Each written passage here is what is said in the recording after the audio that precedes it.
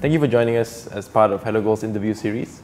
Um, today we welcome the soul behind the personal finance blog Ringgit or Ringgit, uh, the author of Money Stories from Legends, Volume 1, Miss Suraya Zainuddin. Hello, thanks for having me.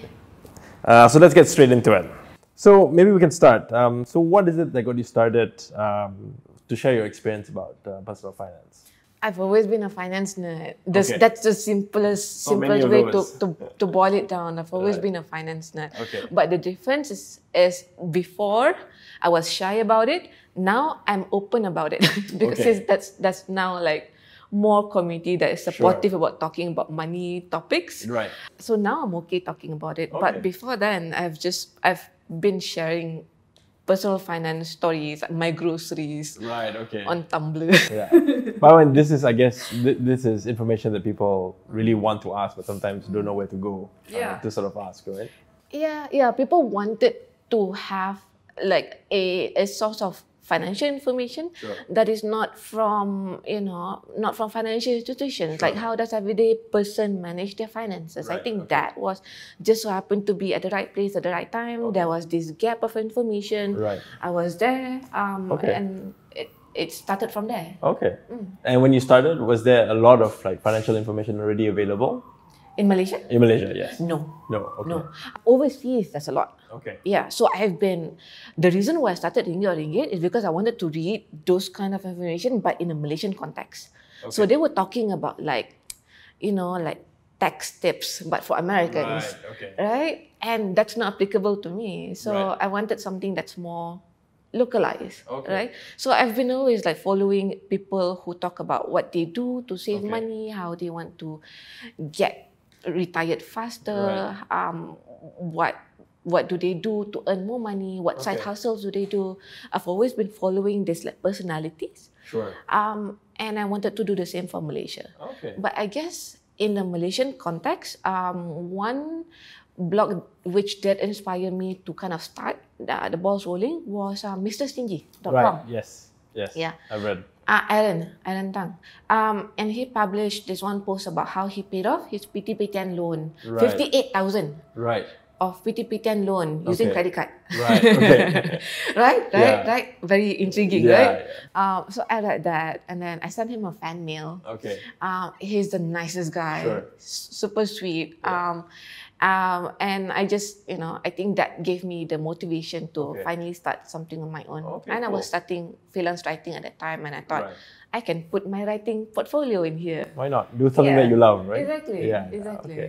So maybe we get a bit about your your sort of readers. Um, Mm. What is like a common question that they seem to ask about sort of personal Mm. finance or personal savings? Kak Suraya, how to make money? Kak Suraya, where to put my money? Okay, fair enough. yeah, yeah. Kak Suraya, which credit card should I get? um, which are all legit questions. Uh, and it, I try my best to answer them Okay. without saying it depends. Yes. You know what I mean? Even though that's the real answer. Even though that is the Yeah, real answer, understand. correct. Uh, but they get that all the time. Yes. Um, and I know that for many people, what they want is not like advice per se, because we are so people my generation, Yeah. Gen Z, they're so good at researching. Sure.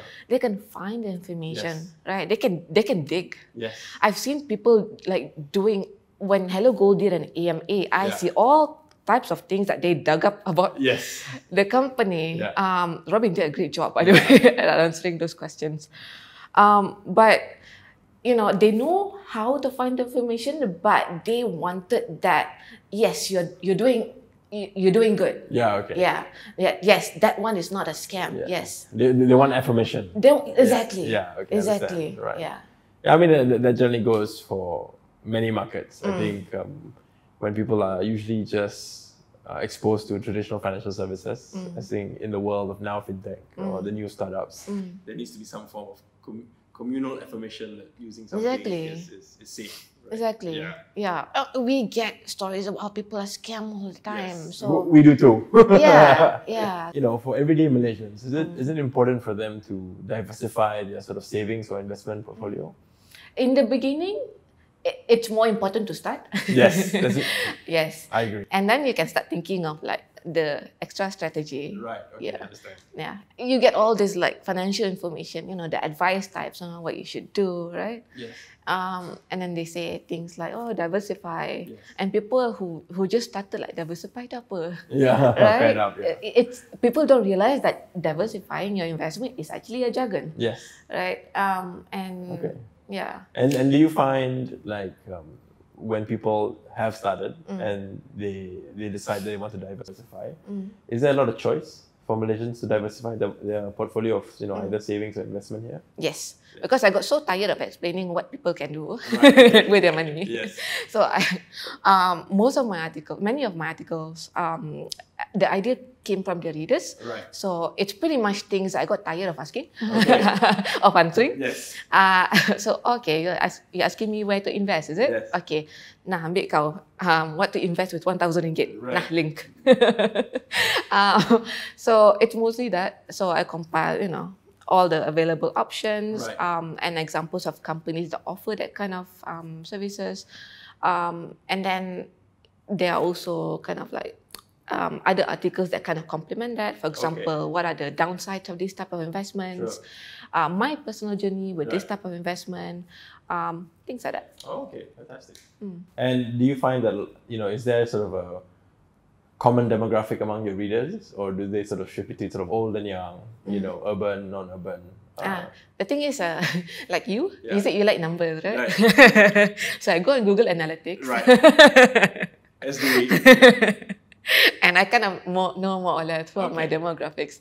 Um, overwhelming majority is under 35 years old. right. Okay. That makes sense. Um, and it's, I'm very proud that it's roughly half and half male female. yes. Um, uh, most are concentrated in about like 99%, 98% is in Malaysia, Right. but most are concentrated in urban areas. Okay. Now, as a person who constantly rakes through like financial, uh, countless financial content, you know, a, a lot, of, a lot of the indicators that we've seen, uh, especially in the last sort of twelve to twenty-four months, is that we're heading towards sort of a recession, you know, uh, or we're heading towards not such a good time, you know. Um, now, what would be your definition of a good sort of savings or investment portfolio that can be deemed sort of a safe haven? Good question. Yeah. Safe haven is such a haven is such a loaded word. Sure. Right. Traditionally, gold is one. Yes. Which is why I do have money in HelloGold. Yes. Full disclosure, I have money in HelloGold. It's all the traditional ones, right? Sure. I understand. Yeah, no, no, I, I, we get that a lot, you know, and I think um, for a lot of what we do at HelloGold is more, less, it's less to compete with sort of other uh, assets like ours, but more to just give customers choice. Yeah. Right. Um, but with that, you know, what is your opinion on gold? You know, in, in particular, sort of savings in gold. I like it. Okay. Yeah. Well, what what about it? It will always have value. So that I like about it, Okay. right? Um, especially having a my dad Yeah. um, was a hardcore, is a hardcore still Okay. property guy. Right, okay. Right. So he collects land. Right. Collects probably like not the best word for it, Yeah. but you know what I mean, right? Um, collects land, collects offices, collects houses. Okay. Um, but when times are tough, he, especially in this market right Yeah. now, very hard to sell. Yes. No Um, liquidity. Exactly. Yeah. So it's it's hard, and um, and I think I got lucky when I got into gold for the first time. Yeah. It was such a positive experience. Sure. Like looking at how the you know like historical charts, Right. long term trend still looks very positive. Yes. So you're never gonna know what's gonna happen, Yeah. but based on past, should be okay. Right. Perfect. Okay. And how, much gold would you save? How much? Uh, or do you save as a percentage of your portfolio? ah, Yeah. okay. I didn't calculate percentage, but something maybe like ten percent. Ten percent. Yeah. Okay. Yeah. Perfect. Which is exactly what um, we recommend a lot of our customers as well. Which is that you know if you have a hundred ringgit Yeah. uh, every month, Yeah. you know in this type of economy in this part of the world, anywhere between five to twenty percent uh, is a good sort of threshold for you to, to save your gold. You know. So as you go forward, maybe that's something that you can consider. Yeah, I think at my peak it was as much as like fifty percent. Right. Yeah. Okay. But that was during the um, gold rush in Yes. two thousand. Eleven. Yes. Yes, 11, 12. I think the entire world was buying a lot Yeah, more yeah, gold yeah, then. Yeah, yeah, yeah. yeah. now, because we're Hello Gold, and obviously we're based on a digital platform, um, do you think that digital gold is something that's easily palatable for Malaysians um, as compared to traditionally um, buying physical gold, you know, in the forms of either coins and bars or jewelry and keeping them at home? Look, I was stupid. I have bought, I have thought of like gold, and then I went on lelong.com Right. and I bought a gold coin. Okay. But what I didn't know is that it's a gold plated coin. Right. Okay. That was a stupid move. Okay. But you, you live and you learn. but you live and you learn. Yes. Cost of education, Suraj. Yes. Um, it's only bad if you don't learn from it. yes. Um, Exactly. and I have people who collects um, like gold, and they're, they're, they're beautiful, yeah. right? Um, but I think for someone who aspires to be a minimalist Yeah. and would like to not have too much clutter around Sure. and worry about them, Yeah. digital is my preferred way. Okay, Yeah. As somebody who has traditionally bought physical gold before, and now obviously a HelloGold customer, what do you think are the main differences uh, that make the HelloGold sort of experience worth it for you? Sometimes HelloGold emails Yeah, are put puts me pressure. it's like that's good feedback. no, no. like because of the constant reminders, like Sure. hello, it's time for you to Yeah, find yeah, your yeah. account. Yes, okay. so the first one, first two one, I ignore. Understand. yeah, and then it comes again, and Yes. I'm like, fine. Until you relent. So I appreciate the reminder. you want people to save. And now, have you tried HelloGold's um, SmartSaver? that's the, the That's, that's the reminders that you that's get. the reminders okay. that I get. Yeah. And you know, hello, it's uh, hello, you're late. yes. So I, I actually I, I worked on the SmartSaver Oh. um, product Yes. and together with my team. Yeah. And you know we spent a lot of time and you know one of the things that we have I think we're probably one of the, we're probably the only product that does something like this. Mm. And you know if you could just share, you know, what is it about SmartSaver that, that you like? You know, sort of what what uh, what characteristics of the product that really drove you to sort of join it in the first place? Mm. I mean, I understand the the idea behind it. When when people first come, if people like ask me like investment related questions, they're always like, "Sorry, where to put like a chunk of Yes, money, right?" But they don't. Many people don't realize that Yeah. you can start as easily as like small amounts, but consistent. Exactly. Right? It's not one off put money inside. Yes. It's you know over long term. Exactly. Um, that reduces your risk. So I understand the idea behind it Yeah. um, and putting it in a way that makes it almost impossible to ignore. and then also, I really appreciate you know having integration with Boost. I really like that. Yes. I, th- I think for a lot of our customers, and I think you're absolutely right. With uh, for us, you know, one of the things that we realize, people in Asia buy gold, and as you mentioned before, like the story of your father buys property, and the other thing that they do is they keep it in cash, right? And what we found for the gold buyers is that you need to save up a certain amount before you can make the purchase, right? So. For like example, property, if you want to buy some land, you're gonna have maybe a few hundred thousand before you can buy the piece of land. Uh, for gold, same thing. Usually the minimum is about a gram for physical, and you're spending about 200 ringgit uh, or so.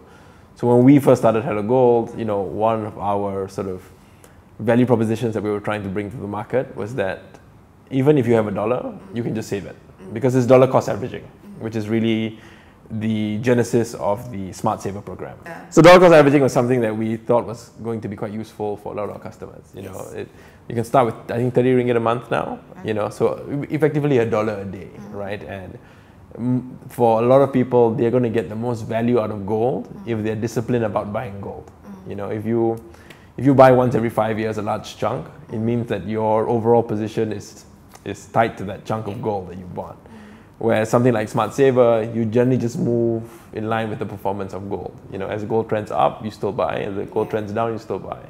Ultimately, you get to where you need gold to be on the day that you actually need it, right? Yeah. Yeah. No, yeah, that's that's really important. I, people don't realize as someone who has been bitten by like the timing, yes. Understand. uh, which is another lesson, expensive lesson, bad Yeah. lesson. Um, But you were part of the gold run, so that was good timing. that was good timing. That was good timing. Yes, but not dependable. No, no, no, not exactly. Yeah, luck is not an investment strategy. Yes. yes. Uh, what did what did you say? Um, trust in God, but tie your camel. Yeah. yeah. So Yes. Okay, great. Um, you know, thank you again for spending time with us today Yes. um, and sharing Tell all us these what things. do you do on a day-to-day basis? What do I do? Yeah. Uh, I do a lot of things. Um, I think when I, I have a background in finance, um, but when I first started together with Robin, um, we set this up from a team of 5 We're now, I think, about 80 people here. Congratulations. Thank you. Um, and since then, you know, we've just been focused on trying to build out the product. Um, we launched in Thailand uh, not too long ago. I'm going to say about two months ago Good. and we're focused on getting Indonesia uh, up and running, hopefully by the June this year. Um, so on a day-to-day basis, I sort of dabble overall. My title strategy lead, so I look at overall business strategy. Um, but generally, it's pretty much means I do everything. That's Uh. Yeah. So we dabble into marketing, dabble into product, and product, you know, drives a lot of what we do here because we feel as if the customers should really drive the decisions we we make in order to build out our product, right? Any hints on what's coming next for Hello Go? For HelloGold, uh, I think we are looking, we're working on actually rewarding our customers uh, a little bit more. We've, we we now have about, I think it's 85,000 customers here in Malaysia. That's cool. Um, so for the customers here, especially customers like you who have been with us for a long time, we're trying to install a mechanism to reward you um, for being sort of great savers with, with HelloGold. I like that. Yes. so we're we're looking at some form of a loyalty program, um, which I think should be the first phase of it should be out. I'm going to say by the second quarter uh, of this year. So that's pretty exciting for us. You know, cool. I think um, a lot of our customers, you know, have been with us since the start. So we launched two years ago uh, or so from a like super beta app um, to what it is today. Yeah. So we really want to try and go back and, and sort of uh, reward our loyal 85,000 customers and all our future customers Awesome. um, on top of that. Okay. Yes. Yeah. Perfect. Well, you know, I'm, I'm staying. so- Yes, I hope so. I'll, I'll tell the team to send you less reminder emails. no, no, no. It's uh, it, it works. yeah.